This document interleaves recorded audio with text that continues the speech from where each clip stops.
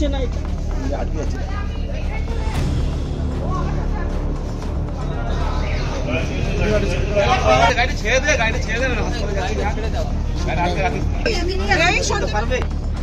আর আমাদের যুগে তো এটা প্রথমবার দেখছি এরকম? মার্ডার অ্যাটেম্প টু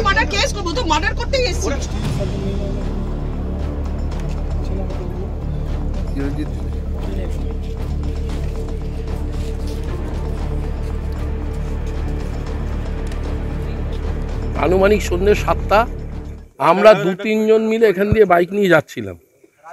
এবং এর আগে প্রচুর সৌমেন সরকারের নামে আমি যখন হয়েছে, আমি থানায় জানিয়েছি, ও দেখা হলেই অকথ্য ভাষায় গালিগালাজ আমাকে। অকথ্য ভাষায় গালিগালাজ। আমি আনঅফিসিয়ালি আমি আপনাদেরও জানিয়েছি কথাটা অফ ক্যামেরা আমি বলেছি, অকথ্য ভাষায় গালিগালাজ।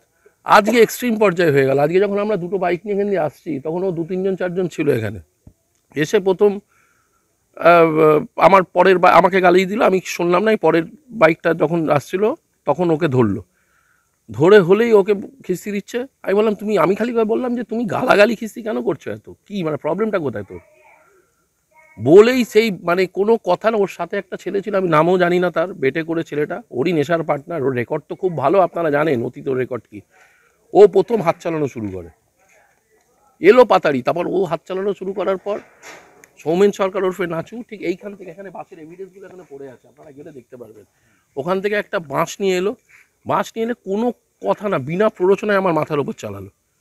কপাল খুব ভালো আমি হাত দিয়ে আটকে দিয়েছি বাসটা ভেঙে গেছে বাসটা ফাঁপা ছিল কপাল ভালো বাসটা ভেঙে দিয়েছে ভেঙে গেছে আর কি। দেন এলো পাতারি হাত চালানো শুরু। আপনার গাড়ির অবস্থাটা কে করল? ওই ওই ওই।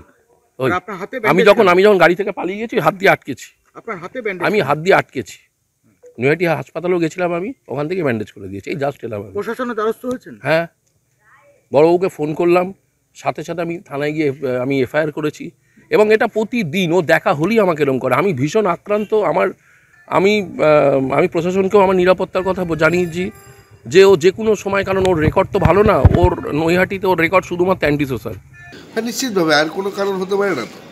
তো বিরোধীদের কোনো রকমে আটকাতে হবে, তো বিরোধী কণ্ঠস্বর রোধ করতে হবে। আগামী দিনে পঞ্চায়েত নির্বাচন কয়েকদিনের মধ্যেই অনুষ্ঠিত হতে চলেছে বলে চারিদিক প্রশাসনিক লেভেলে তৎপরতা রয়েছে, যাতে ভারতীয় জনতা পার্টির কর্মীদের মধ্যে একটা ভয়ের বাতাবরণ তৈরি করা যায়।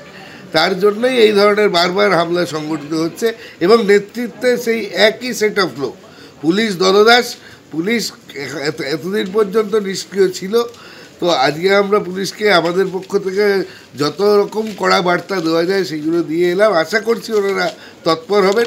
যদি আগামী দিনে তৎপর না থাকে, তাহলে আমরা রাজনৈতিকভাবে তার মোকাবিলা করব। দেখুন, আমাদের ন্যায় ব্যবস্থা, গণতন্ত্র এর প্রতি আমাদের ভরসা রয়েছে। তো সুতরাং আমরা তো আইন নিজের হাতে তুলে নেব না। আইন প্রক্রিয়ার উপর ভরসা রাখাটা গণতান্ত্রিক আমাদের আমাদের অধিকারের মধ্যে পড়ে, আমাদের উচিত তো আমরা গণতন্ত্রপ্রিয় মানুষ জাতীয়তাবোধের বিশ্বাস করি। তো সুতরাং আমাদের ভরসা করা ছাড়া কোনো উপায় নেই।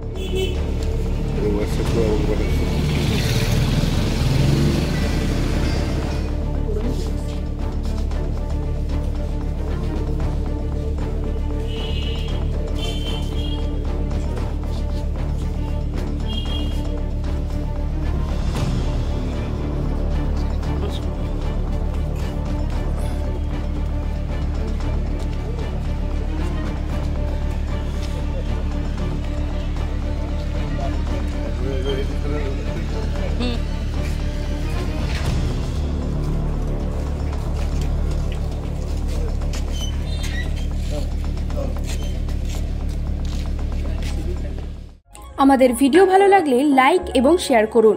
কমেন্ট সেকশনে গিয়ে জানান আপনাদের মতামত। আরও ভিডিও পেতে আমাদের চ্যানেল সাবস্ক্রাইব করুন এবং প্রতি মুহূর্তে খবরের আপডেট পেতে প্রেস করুন বেল আইকন।